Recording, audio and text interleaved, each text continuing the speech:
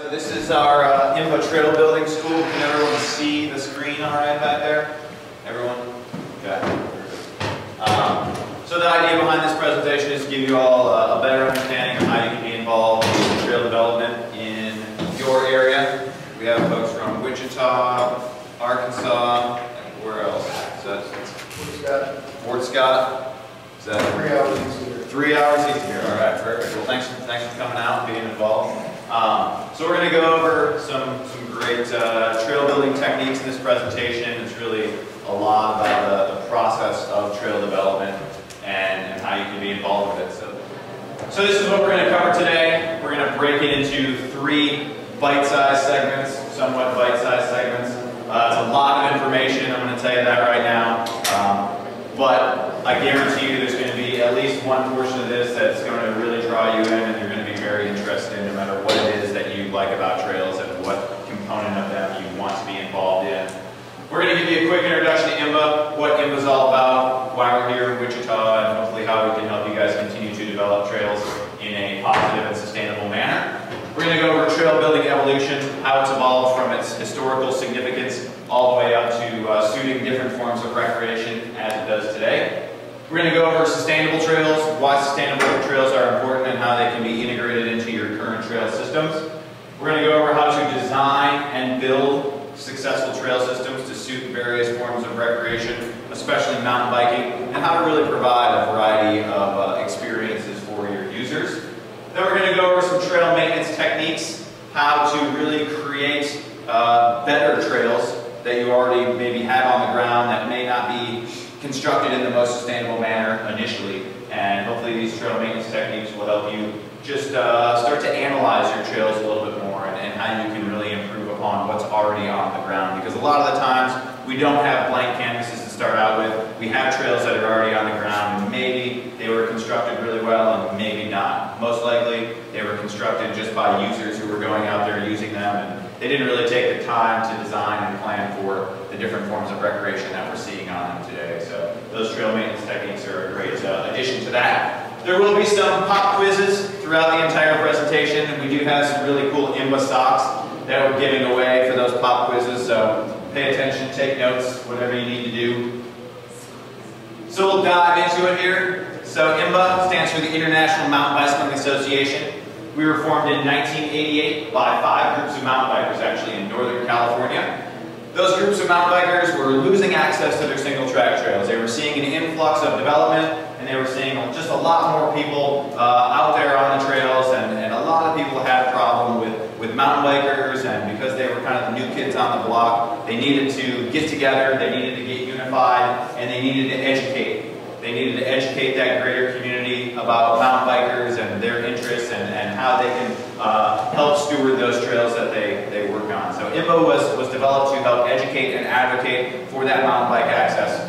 Currently, we have 80,000 IMBA constituents in all 50 states and 30 countries around the world. We work very closely with 750 chapters and clubs, like the Kansas Singletrack Society here in the Wichita area, and then 800 bicycle retailers, so those local bike shops, like the Heartland, uh, Heartland Bike Shop, is that the name of it? Yeah, that we, we actually gave a presentation in on Thursday, so those uh, supporters really help us continue to grow those communities that we work in. And then 250 corporate supporters help fund programs like our trail care crew here today.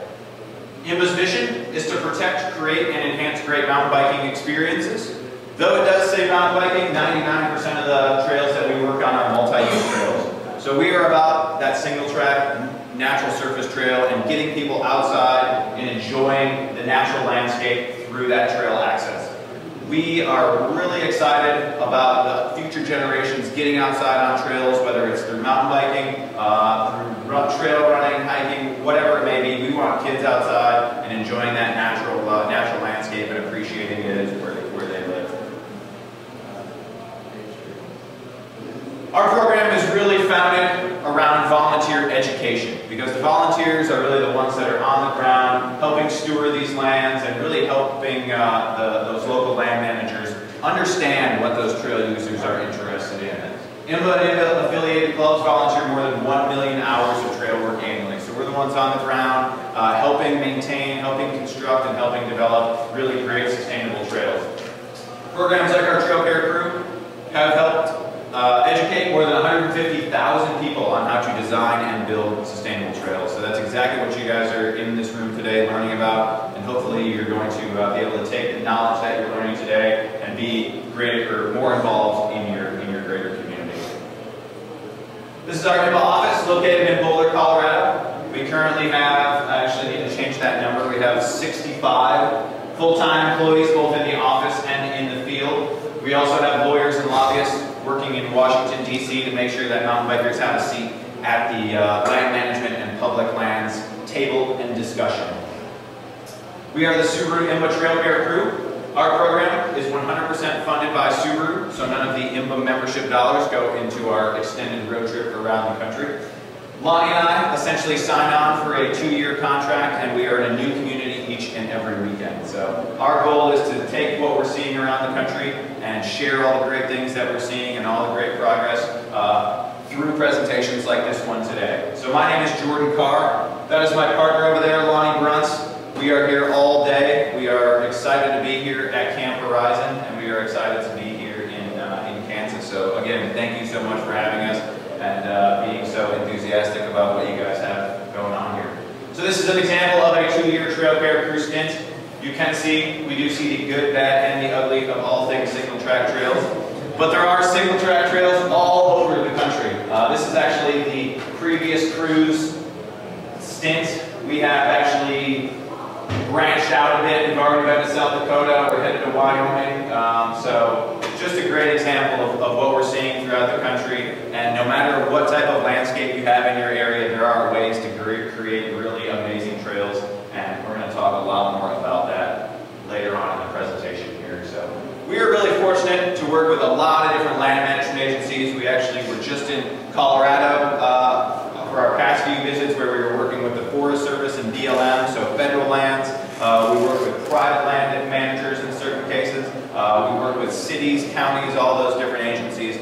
So that's really the focus of a lot of the work that we do is helping develop those relationships with land management agencies and showing them that mountain bikers, they have that vested interest. They're really excited about being involved and they're really excited about uh, uh, stewarding those trails that we all use. So that's really, really the focus of, of what we're doing. And again, thank you all for coming out and being involved. This is our advocacy triangle. So what you guys are doing today, you're focusing on that physical side. You're in this room, you're getting educated, you're going to learn how to uh, design and construct sustainable trails that are going to be a real huge asset to your community. Hopefully this experience is going to get you really excited about advocacy and about the trail's potential here in Kansas.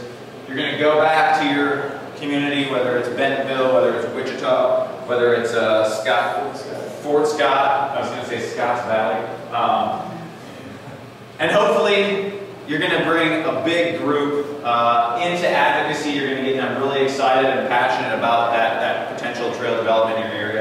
That's what's going to speak really loudly to those political leaders. So those land management agencies, those public officials who are making the decisions on what's happening with our public lands, with our tax dollars and our funding for those public lands.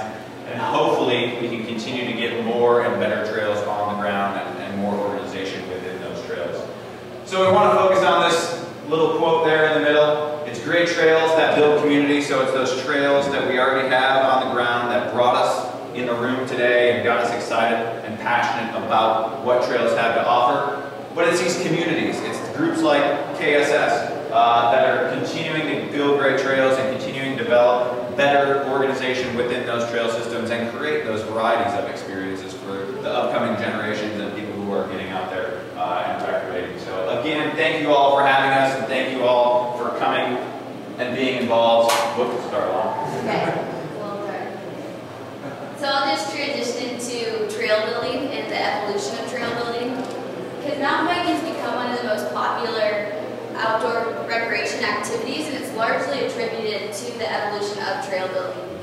So I'll touch on the history and then discuss how we've evolved to build these trails to suit different forms of recreation and how we've evolved our techniques so that we're building more sustainable trail trails. So does anyone know who these men are? What were My grandpa. Roughly. So this is the Civilian Conservation Corps. So This photo is from the 1930s. These men, they're bent over, they're building a bench cut trail. This is exactly what we'll be doing this afternoon. So the whole idea of these bench cut trails is to keep our users on the trail and the water off of the trail. So it's a technique that's been around for decades now. We've just evolved it to better withstand the test of time and weather and to also suit different forms of recreation. So here in Pindal, Italy, they had this really steep hillside that they had to figure out how to put a trail on. And they used it for trade centuries ago. And you can see over 200 years later, this trail is still intact. So they used a technique called pitch stone paving. It's still a technique we use today in our trail building. Um, the reason we show this is that we don't need to reinvent the wheel. Trails have been around for a long time. They've had a much more significant historical, or much greater historical significance than simply recreation. So we can learn from past successes and past failures and, and build on that. So here in Wales, Great Britain, they see a lot of rainfall, over 100 inches of rainfall a year. And unfortunately, we can't control the weather. Instead, it's a matter of understanding our local weather conditions and adapting to them. So here in Wales, they came up with this idea of elevating the trail tread. And that actually rises those users up off that wet surface and it allows them to recreate pretty much year-round, uh, regardless of the weather. And so now trail users, rather than getting out there on those wet, soggy, washed up trails, they're able to recreate, they don't destroy their bikes, they're having a good experience and the trails aren't getting destroyed in the process. Here in British Columbia, they just wanted to bypass this one sensitive riparian zone, and unlike Wales, they didn't have a surplus of rock, instead they had a surplus of cedar, so they just built this elevated bridge to get those users through that area. So it opened up this area to those users, and again, it, it protected the area. It allows them to get through with very minimal impact. So here in Seattle, Washington, they have a completely different problem. They're very pressed for, well, one, public space, um, but they also had to get creative with the land on hand. So this sits right underneath I-5. And local bike club came up with this idea of actually putting a bike park underneath I-5. And it really took quite a vision because there's a lot of negative activity going on underneath the interstate. But as soon as they developed those trails and got all of those eyes on those trails, people using that area, it really cleaned the area up. And now the mountain bikers have a place to go out and play. There's also an area for people to walk their dogs. So it's really provided a safe area for people to get outside and recreate. So again, it was a matter of understanding the resources they had on hand and the space they had available to them, and they got creative and came up with a way to get trails on the ground. So now we're actually seeing this shift to hiring in professionals to build what we call bike optimized trails. So people are realizing how fun it is to ride trails that were actually designed for our bikes. And communities are realizing all the faces that these sorts of trails are bringing to town. It's bringing a lot of money. It's um, really reinvigorating local economies. And so we're seeing this shift throughout the country where those professionals come in and they do everything from that design to the actual construction so that they can build these trails so they are bike optimized and they're built very purposefully. Uh, it makes the process more efficient but it is nice to have that variety, to have those bike optimized trails, but to also have more of those legacy trails that so many of us enjoy. These are all just examples of how a trail can be sustainable. So at the end of the day, it's a matter of understanding our local constraints, weather, soil, vegetation, any sort of environmental constraints, and any sort of environmental opportunities, and adapting to those constraints and taking advantage of those opportunities. But it's also a matter of understanding who will be using the trail. So with these bike optimized trails, we're really creating an experience for a particular type of user group.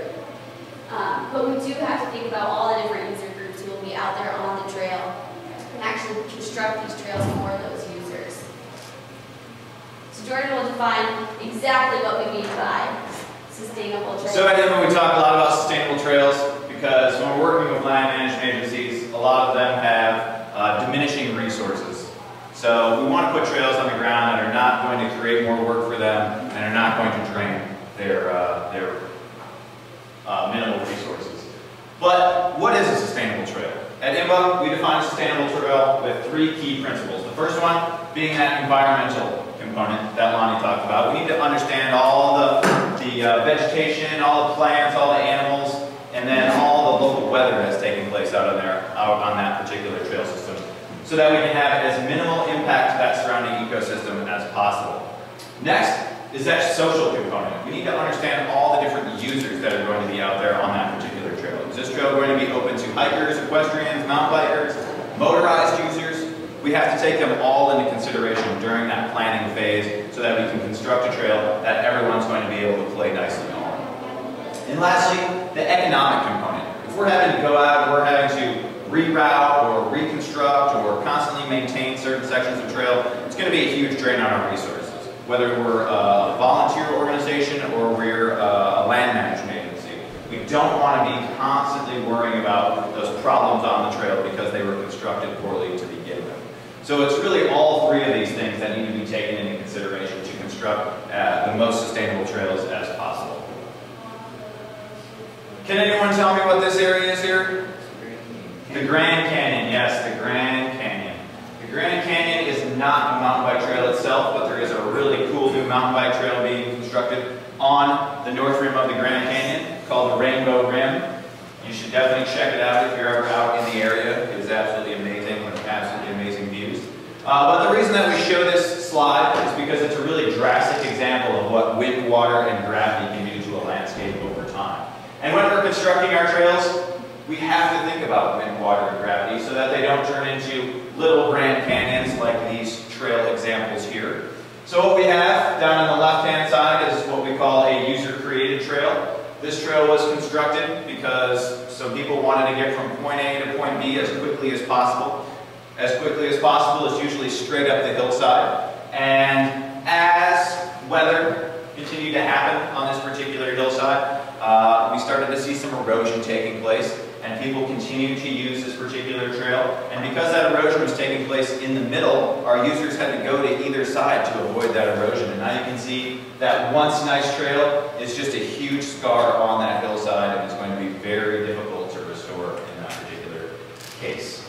In the top example, we have, again, another older legacy trail where very little planning took place during the construction of that. You can see that water has been running down that trail for many, many years, and it has eroded that trail away as it has done so. You can see that there have been some trail stewards and some land managers who have gone out there to try to minimize the velocity and momentum that that water is able to gain by putting in water bars. But once a trail is eroded to that point, it's just a big scar on the landscape. It's not a very good experience for our users, and it's just really detrimental from a maintenance standpoint.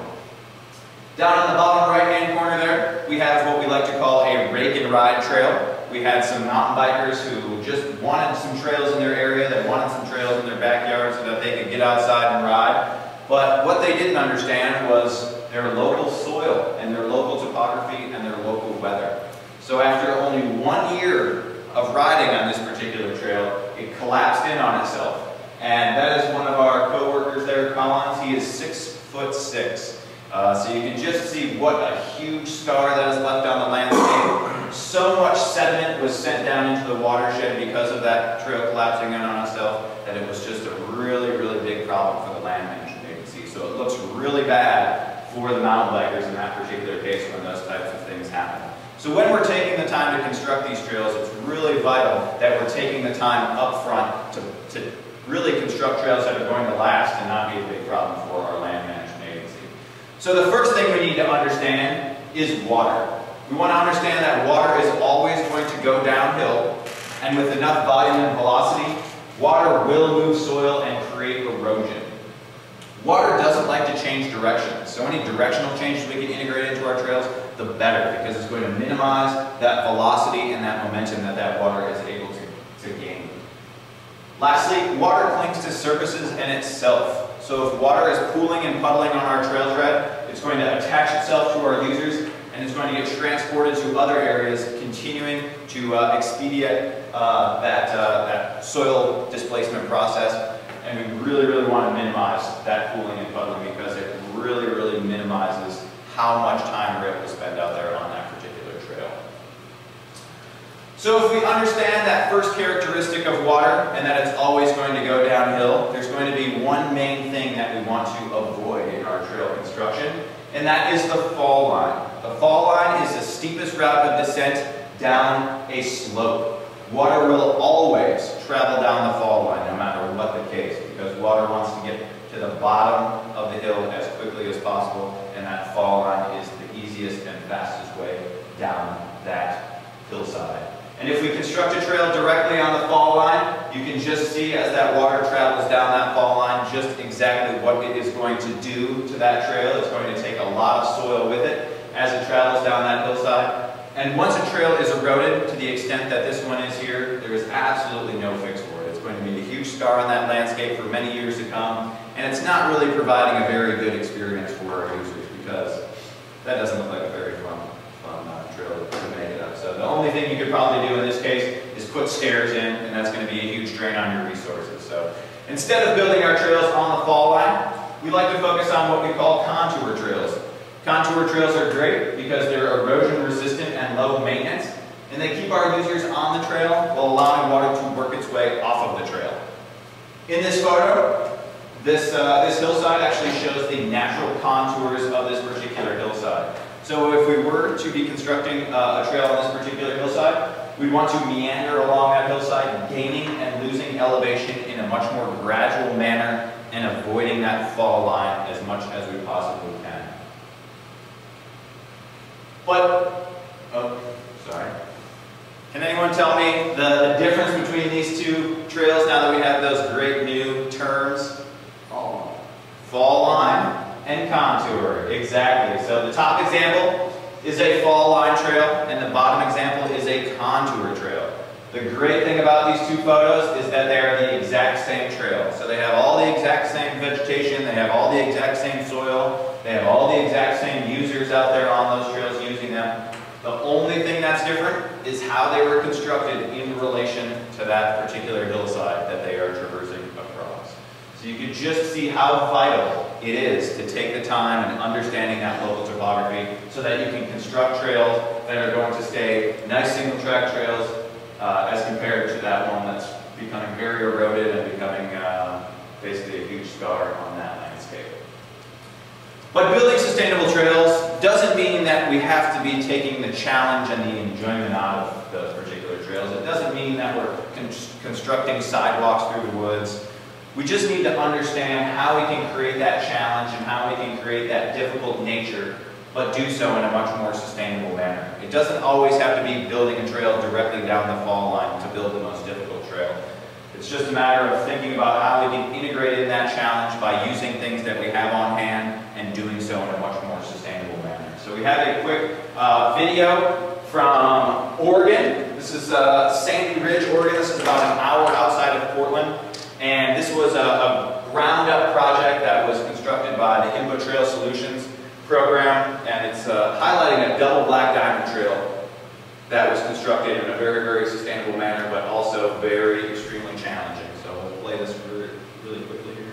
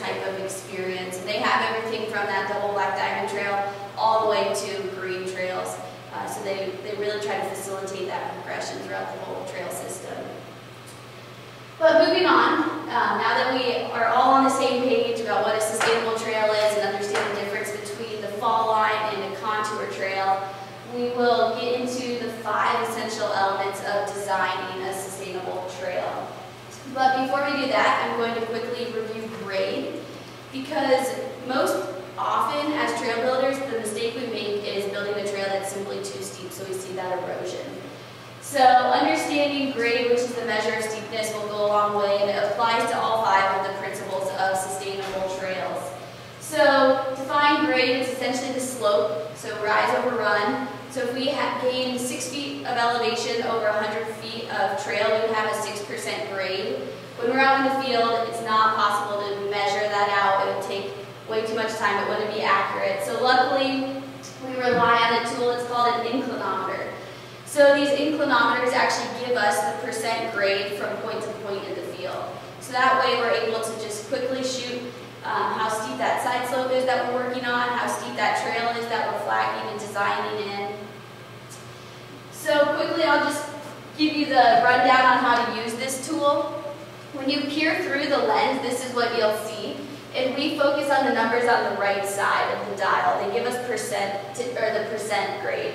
Um, sometimes it's different, so just check and make sure you're reading percent, but all of ours are on the right side. And the dial swivels up and down depending on if you're shooting uphill of yourself or downhill of yourself.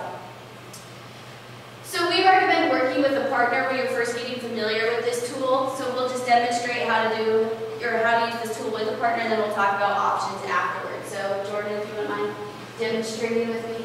So before you can go out into the field, you have to establish your zero point. So that's going to be the point on your partner's body that you consistently um, point your, or line your inclinometer up to to establish how steep, whatever it is that you're working on. So level ground about five to 10 feet apart from each other. You want to stand with a posture that you can keep consistent in the field.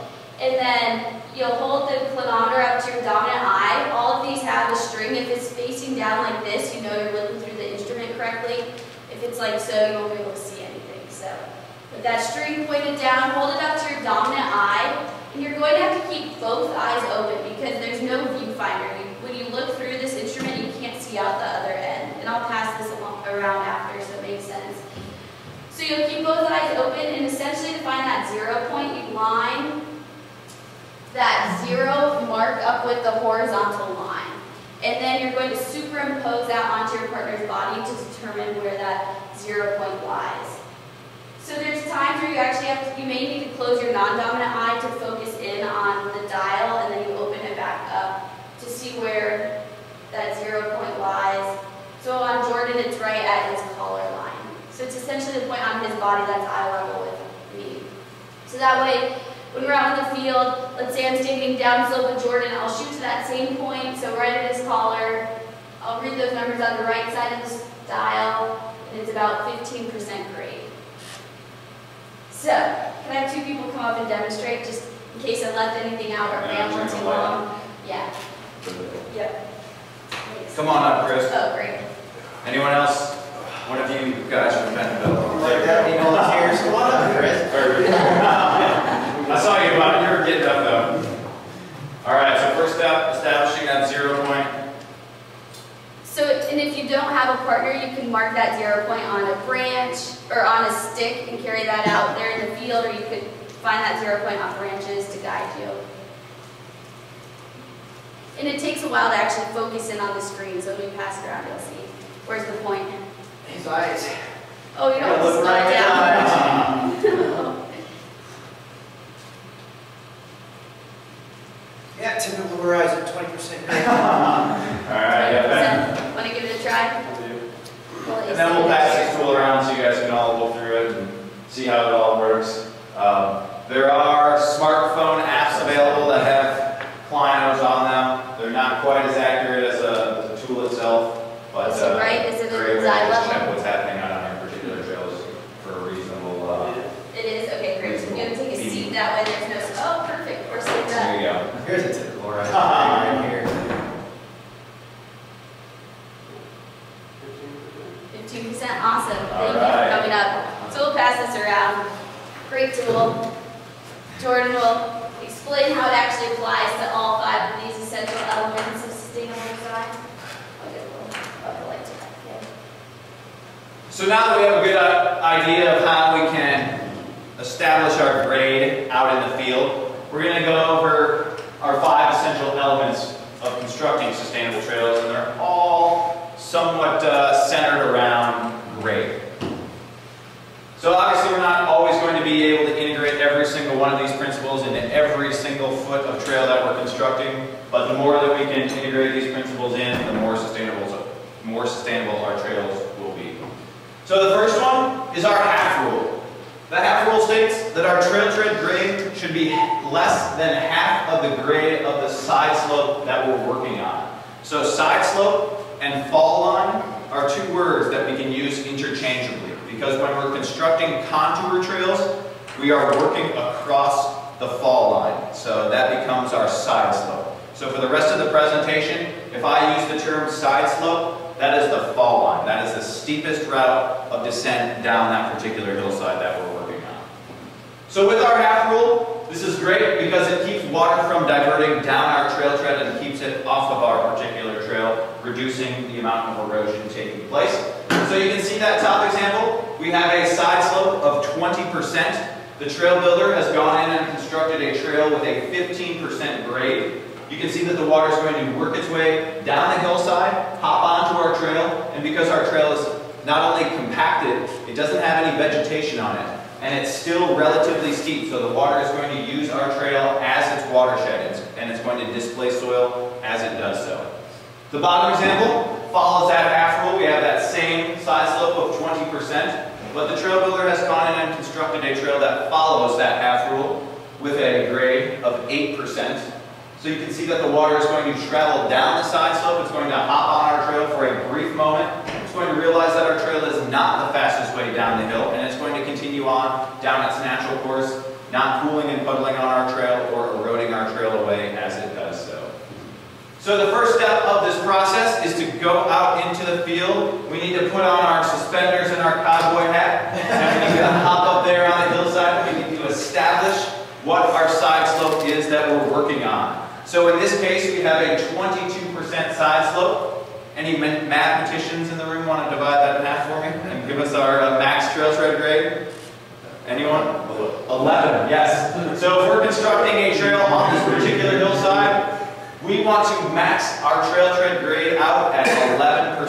So as we're working our way across that hillside, we don't want any grades greater than 11% to continue to follow that half rule. Number two is our user-based erosion guideline. This one states that on typical soil surfaces, we want to max out our trail tread grade at 15%. We want to max out our trail tread grade at 15% because anything greater than 15%, and it's going to be our users who are the ones who are displacing the soil. So whether it's uh, their feet, their hooves, their bike tires, whatever it may be, any trail that's steeper than 15%, and our users need to dig into that soil to get up or get down that particular section of trail. Of course, this does depend a little bit on soil, but you guys have really good compactable soil, so 15% is a good number to, to focus on for your trail tread grade. There are some exceptions though. If you do want to create really technically challenging trails and you want to create a specific experience that's based more around speed and uh, descending or ascending, there are ways that we can integrate in that challenge and do so in a sustainable way. We can integrate in things like natural rock outcroppings and rock features. We can integrate in built structures, so more uh, wooden type and man-made features. Or we can armor those sections that are steeper in grade. We can harden up that trail tread by using either naturally occurring rock or things like landscape pavers to harden up that trail tread and make them more sustainable in those steeper sections of trail. Number three is our average grade guideline. This one states that when designing our trail, we want to keep the overall average grade less than 8%. This allows us to aid in planning, accommodate variations in soil type, minimize that user-based erosion that we talked about, and help with future reroutes. Because the great thing about nature is that it's not always black and white. We're not always going to be able to go exactly where we want to out there in the natural landscape. We're going to run into constraints, we're going to run into rock features, we're going to run into big uh, trees that we aren't able to, to take down, we're going to run into seeps and different water features out there. So if we focus on this average grade of about 8%, we are able to make those adjustments and get around those areas while still keeping our trail as sustainable. But of course, we don't want a straight 8% trail down the hillside. That's not going to be very fun for our users and it's not going to be very sustainable. We want some undulation in that trail. We want some 4%, some 15%, some 7s and some 9s. But as long as we're focusing on that average of about 8%, it's going to keep our trail really sustainable and also create that enjoyment and experience that our users are looking for. So now that we have a bit of a better understanding of what certain grades look like and you know sustainable grades versus unsustainable grades, what do you think the grade of this particular trail is in this photo? 23. 23, less than 23%. 10. Less than 10. 3% is exactly what it is. So this trail is only 3% in grade. Does anyone know why it is so eroded? It's all fallout. Exactly. So this trail is constructed directly on this mellow fall line. So even when we're working on relatively mellow slopes, if we build a trail on the fall line, the water is going to use our trail as its watershed. So it has nothing to do with the element that's laying It has nothing to do with the helmet that's laying there. That's, that's just showing how eroded that particular section of trail is. So extremely eroded, only at 3% in grade. So you really, really need to think about that particular hill that you're working on. Think about that fall line, understand where that lies, and how you can construct a trail that's going to avoid that fall line as much as possible. So if we were to follow the half rule on this particular hill, what would be our maximum sustainable trail tread grade? One and a half. One and a half, yeah. So obviously not a place where we're going to want to build a downhill trail by any means. But it would be a great place to integrate in, you know, maybe a more beginner or more challenging trail in, in other ways other than by uh, a, a challenging grade. So continuing on with our five essential elements, number four is our trail tread outslope. This one states that when constructing our trail, we want to outslope it by 5% to aid in the sheet flow of water. So we are essentially saying that the outside critical edge of our trail should be 5% lower than that inside edge of our trail. That's going to allow the water to work its way off. It's not going to pool and puddle on our trail tread, and the water is not going to get trapped because of the nature of construction on our trail. So this little slide just highlights how this works out there on the natural landscape. So the water is going to work its way down our hillside. If our trail tread is outsloped right at about 5%, our users are going to be able to stay on that trail and make it through that particular section of trail without sliding off. But the water is going to be able to work its way off of our trail, not pooling or puddling on our trail tread. And it's going to continue on down its natural course and not displace soil as it does so. But when we're out in the field constructing our trails, it's not going to be a very efficient use of our time to be measuring every section of trail with a level to make sure that we have that 5% outslope. But there is a great tool that we almost always have in our hands on trail construction or trail maintenance days. That trail is called a McLeod. A McLeod is a great tool for trail construction and trail maintenance. It does a lot of great things does a lot of tamping and finishing work, maybe a little bit of light excavating work, uh, removal of the organic layer, but it also measures our trail's outslope. So to measure our outslope with a McLeod, we want to imagine a plumb line from the end of the handle to the edge of the blade. If that McLeod is sitting perpendicular on our trail and those two are lining up, our trail is outsloped right at about 5%. So that's going to give us just a, good idea of what that 5% outslope looks like and just allows us to check it, just eyeballing it out there. It doesn't have to be exact, we just need to make sure that we have just a little bit of outslope on our trail so that our users will stay on while allowing the water to work its way off. So number five, and last but not least, are grade reversals. Grade reversals are great because they create watersheds along the trail. So grade reversals are essentially small upticks in our trail. And if we remember, water doesn't like to what? Change directions or go uphill. Yeah, exactly. So these grade reversals give the water those low spots. And this diagram just illustrates how those grade reversals help minimize the velocity and the momentum that that water is able to gain. So you can see in the top example there, without the integration of those grade reversals, that water is able to hop on our trail. If it does get stuck on our trail, it's going to gain a lot of velocity and momentum as it works its way down. But if we have those grade reversals integrated in there, we're going to have those low spots for the water to get to. Um, so these grade reversals are not only creating a more sustainable trail tread, but they're also creating a really fun experience for our users. Because if you're like me, you don't like to be grunting up a, a constant uphill. These grade reversals create those low spots and give you that break to take a quick breath of air and uh, continue on your way. And this video has some horrible music from some point. Um, but you can just see that this, uh, this intermediate level rider is riding this beginner level trail and because of the grade reversals integrated into this particular trail, he is finding a whole other level of enjoyment. So these grade reversals are not only making our trails more sustainable, but they're also creating a more roller coaster feel and a really fun experience for our users. So those five essential elements do a lot of things from a sustainability standpoint, but some also create a really, really enjoyable experience for our users. And at the end of the day, we are constructing our trails for our users and we want them to make sure, or we want to create a particular experience for them. Lonnie's going to talk a little bit more about that experience. Yeah, so those five essential elements, they really address that environmental aspect of sustainable trails. But if you remember, there were three components, and the second component was uh, that social aspect. So understanding who will be using our trails. So if we actually have the time to design and construct a new trail, it's really important that we take into consideration all of the different people who will be using that trail and try to understand what kind of experience it is they're looking for so we can try to accommodate them as best as possible so we don't see uh, user conflict on our trail systems. So to do that, we'd really like to get in the heads of each of the trail users. And, and more often than not, we're working on multi-use trails, uh, almost always non-motorized. So we're seeing trail runners, equestrians, mountain bikers, hikers. There are a lot of other trail users out there, so to go bird watching or maybe they're hiking into kayak.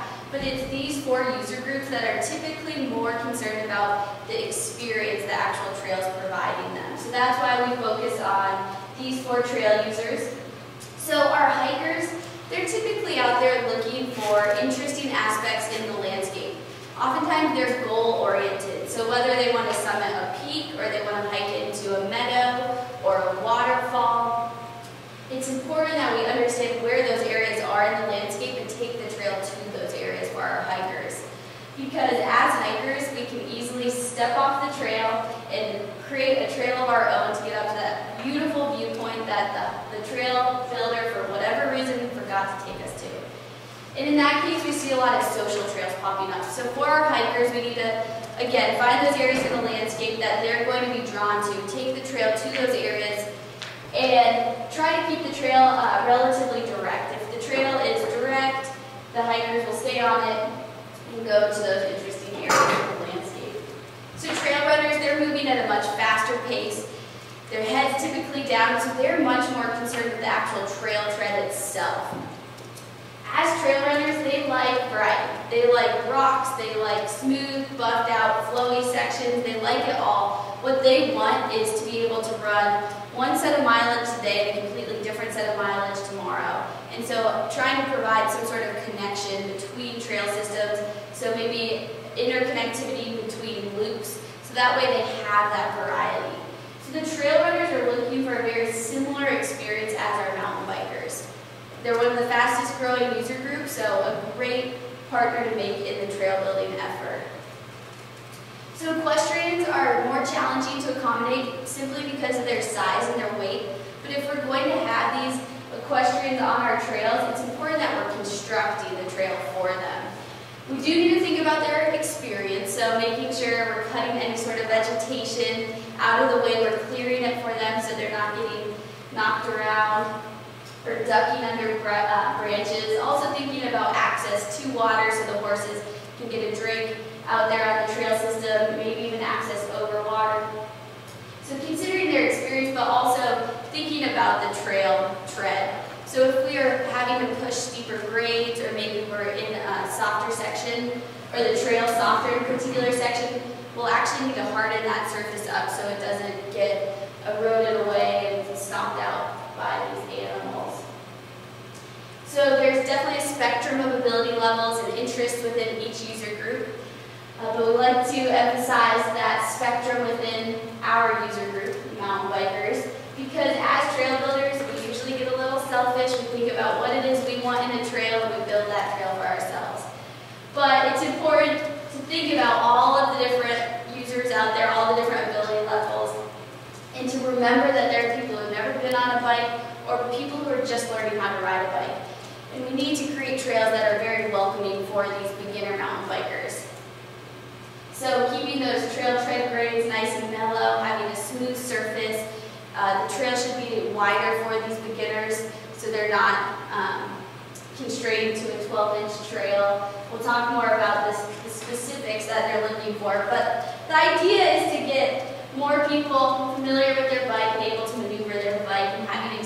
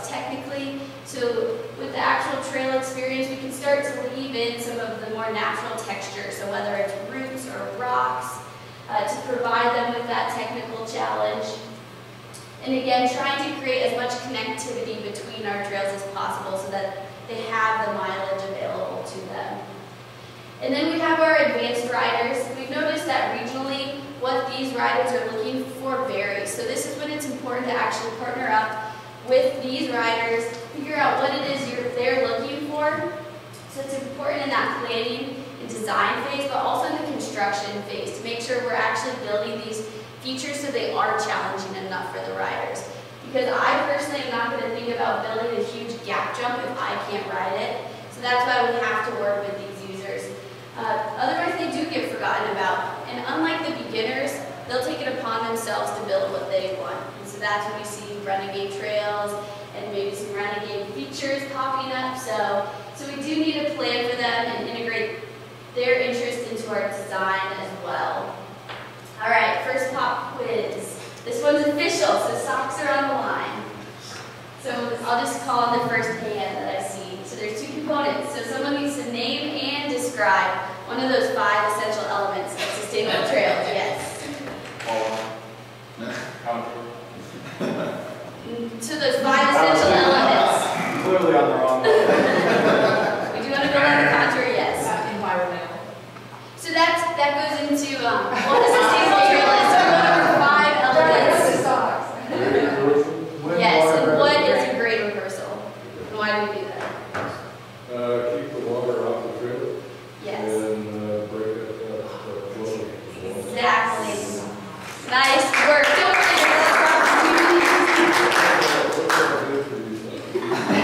Yeah, so those grade reversals create that low spot for the water to drain off of our trail. Don't worry, I'll have another chance. So planning is easily the most important part of the trail building process. It sometimes gets overlooked. It takes a lot of the time, it takes a lot of patience. Trails don't just pop up. Uh, usually there are a lot of procedures that have to take place. And if we really want to plan a trail out that has minimal impact to the environment and that can accommodate all of the different users, we do have to take the time up front. So another step of this planning process is to identify the land manager. Uh, we have to go beyond just understanding who that land manager is, but understanding what their agency goals are. So that way we can figure out how mountain bikers best fit in that picture, and we can work with that land manager to try to get uh, the most quality trails out there. So trying to understand if, if maybe they have to deal with any sort of endangered species. Uh, figuring out what those species are, so that way when you're out on the trail system, you can look for those endangered species and, and try not to route your trail right through that area. We've worked a lot on the west coast with uh, worker, with working forests, and so these mountain bikers are actually building trails while logging is still taking place. So they have to upfront figure out what's going to get logged in the next five years, 10 years, 20 years. So that way they're building trails on those areas where the logging will take place 15 or 20 years from now rather than the year after the trail is constructed. So it goes a long way to really understand what it is that land manager has to deal with. Maybe there's the opportunity to have a bike-only trail within the trail system, or it's going to have to be all multi-use trails. And then, once you finally have that landscape dialed in, you can start to identify opportunities and constraints within the landscape. And start to draft that high-level design for where the trail should lie. So, control points actually dictate where the trail should go. We have both positive and negative control points. Positive being those areas we know we want to take the trail to, and then negative control points are those areas we want So at this point in the planning process, we pull out the topographic maps, we get the land manager in the room, the locals in the room, and we can identify these control points. We can just circle those positive control points, cross out the negative control points, and really conceptualize where the best trail should be. So that way, up front, we, can, we know what we have to avoid and what we want to see. So some examples of positive control points, any sort of scenic overlook, no matter who the user is, everyone loves a view. Bodies of water, also, all user groups are drawn to lakes and waterfalls. Historical sites that may be interesting. But if the historical sites will degrade with use and exposure, we would view that as a negative control point. And we wouldn't even want it to be in line of sight from that trail. Otherwise, we'd have a social trail popping up. Some other areas we know we want to avoid if we can, low-lying areas. It's going to be seasonal, seasonally wet, and so if we can just avoid it to begin with, we don't have to deal with seasonal closures or all of that muddy or muddy sections of trail. Environmentally sensitive areas, we know we need to avoid those. Private property, so even if our trail doesn't run right on someone's private property, instead it's adjacent to someone's private property, it's important that we view that pri- private property owner as a stakeholder. Oh, sorry, almost forgot one slide. So we do need to engage with that landowner, um, bring them to the table, hear what it is they have to say. What we're starting to see nowadays is that people want to live near trails. So if they're involved in the discussion from the beginning, there's a chance that land may land may you down the road. Here, it's pretty unique that you actually get to build on private property and, and they're kind of giving free reign to the club. It's incredible to see it and we are seeing that. So, but there are also times where the landowners will have a host of concerns that you have to deal with to really try to keep all those stakeholders as happy as possible. And then finally, so we have challenging natural features, which we also view as a control point. So if we're trying to build very technically an advanced trail, we would seek out these challenging natural features. We would take the trail to these ch challenging natural features. But if we were building a very entry-level trail, uh, for example, if the trailhead was right here, you could park and walk a minute to this bluff, we'd have to figure out how to manage the risk of that feature. So thinking about how these features fit within the trail system at large and how we have to manage the risk of these features. So again, oops, there we go. Um, there is a lot that takes place in the planning process, but the more we can understand our environment and different user groups out there, the better the trail should be down the road and the more sustainable the trail will be. Because once we build a trail, we want it to be around for decades, maybe even centuries. We want people to have a good experience out, out there on that trail, so if we can do it right the first time, it'll be a lot more enjoyable.